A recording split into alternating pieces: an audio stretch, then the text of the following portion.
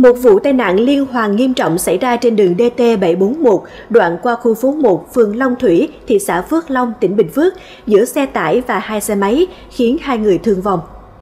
Theo thông tin ban đầu, nam tài xế tên Long điều khiển xe tải biển lưu thông trên đường DT741 hướng từ thị xã Phước Long đi tỉnh Bình Dương. Đến khu phố 1 phường Long Thủy, bất ngờ va chạm với xe máy biển số 93P17458 do chị Nguyễn Thị Phương Ly, 27 tuổi, ngụ thị xã Phước Long điều khiển, và xe máy do chị Tạ Thủy Vân, ngụ thị xã Phước Long điều khiển, lưu thông cùng chiều phía trước. Vụ tai nạn khiến chị Ly tử vong tại chỗ, chị Vân bị thương, hai xe máy hư hỏng.